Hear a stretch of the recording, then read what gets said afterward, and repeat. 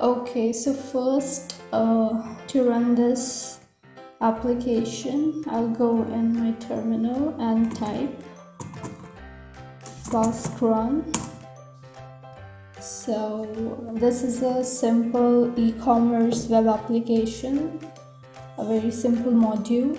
So here we see that it is it is running on uh, 500 so let's go there and see.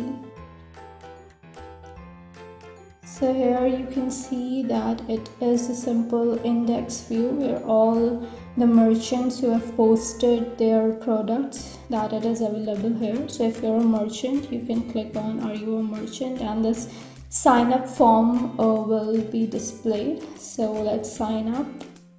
I'm gonna sign up as debbie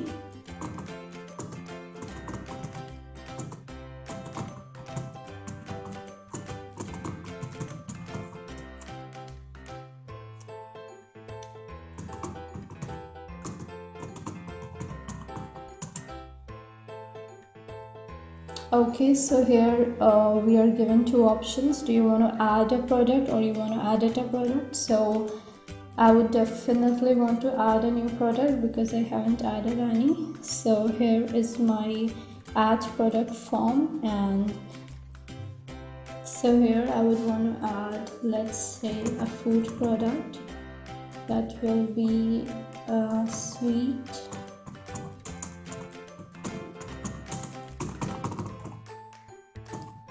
and let's say its description will be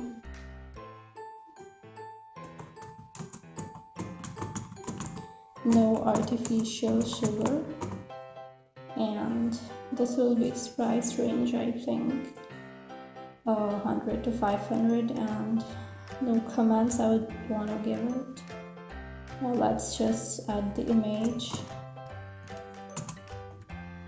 and add the product now. And we see here that the product is added. So now if I want to uh, add my product this is the product that I want to add it. So I'll only be shown the product that I have added.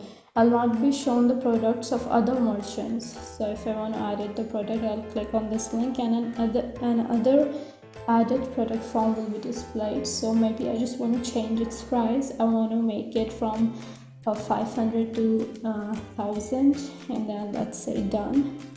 And okay comments are required. So I'm gonna say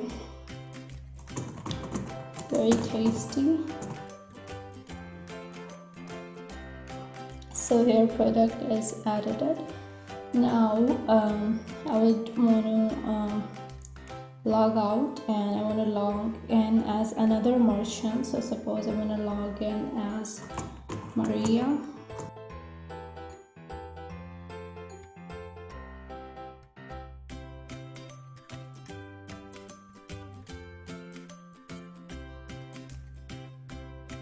Let's try to log in as Tom because Tom was already being created.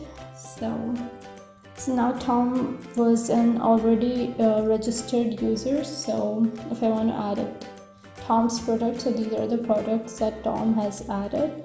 So I can add all these products now. So another thing is that you might have seen the added link here that is like added and slash the id of the product. So suppose if i want to add id number one of the product. So this will be displayed so yeah this will be displayed though it is not the product of tom it is another product. So suppose if i want to add this one and i'll say done then it will say that you're not authorized to edit this product and an error will be shown and i'll go back to my old page. So this is just one of the things for security reason. Now this is my code in application.py and here you can see that what I've been using here on line of code 23 it is a static path for the files that I have added uh, the images and everything and this is a sign up form that is displayed here. So and here is a security check. If passwords are not matching then the error template will be displayed saying passwords do not match. This is also for security reason hashing passwords and this is full name username that will be uh, taken from when the form is submitted and this is um, I'm trying to add a new uh, new uh, user. So if an, uh, an uh, exception will be generated here I'll be taking here saying the username already exists because in my database I've specified that usernames are unique. So if there is an exception this error template will be accessed rendered. So now uh, coming on to the login here you can see that first we need to clear the session. Uh, the old user will be um, cleared whoever was in the session and then I'm gonna check if the passwords match or not. If passwords do not match then there will be uh, an uh, error. And also if there is no result that means that no uh, no row was being accessed when I tried to use the command query.filter by username equals username.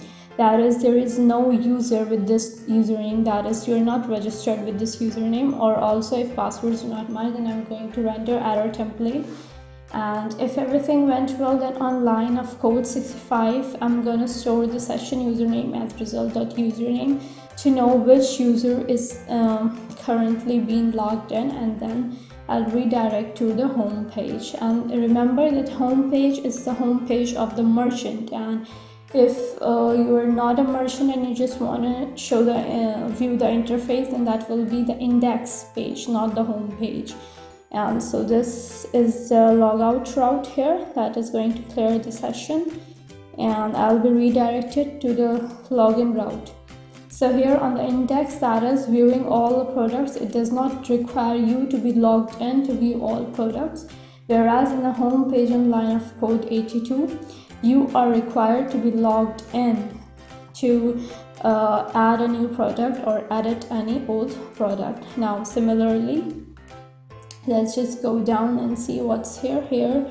Uh, I'm taking all these from the um, uh, from the form and here what I've done is I've just stored the file name in uh, the database and all those files that is all the images that the merchant is uploading are being stored here in the static slash images folder. And here you can see that I've added the new product and committed my changes. And you can see that I've rendered the home page again and with a message called product added. And now let's just go down and see. Here you can see the edit the edit interface. That is when we we want to edit uh, a new um, an existing product we want to add an existing product we need to have the id of the product we are passing it as a parameter. But this also required to be logged in. If you're not logged in that is if you're not a merchant or you're not authorized to edit the product it will just take you back to the um, index page. Not it will not take you to the home page it will take you to the index page. And here to edit the products what i'm doing is firstly i'm just taking uh, that uh, product id that was sent via this route and then i'm just fetching out if that product exists. So if that product exists just store it in the result. And if the request method is POST that is the edited version or the edited form is being submitted then what you got to do is you got to first see that if uh, the username that is if the person who's trying to who's who is trying to uh, you know added this product same as what is being stored with the product because you can see in my models.py I have for security reasons I added this column called username that we will be very uh, careful uh, to see that the product that is added by the merchant the same merchant should be able to edit that product and no other merchant should try to edit that product and similarly we can just see here that if everything went well then you just gotta commit the changes and you just uh, send it uh, render the template home.html saying that the product was edited also i want to show you my home.html that is the view of the person who is a merchant and who is logged in. And in and index.html is just for viewing products. If you just want to view products you're not a merchant you just want to view products you can just come on this slash route that is the very um, basic route. And then edit.html that is the form that if you're editing a product this will be displayed. And in my models.py i have two models the user model and the product model. The user model is actually the merchant who is trying to um, uh, you know uh, add products or edit products. That is the user model and in the product. Also there is uh, a product id category name and also a username column here so that you can know that okay this is the same user who, who is trying to add other products. And index it is very it is very small um, it's not quite large that is because uh, that is only the function I'm using when I'm clicking on the two tabs that do you want to add this product or you want to add a new product. That is where I've used it use the uh, use the um, JavaScript and style is very simple. And login.html that is the same but from a layout.html that is from where I'm just uh, do not have to specify all these things again and again. So I've just used the layout.html and similarly the sign up form that was displayed before. Thank you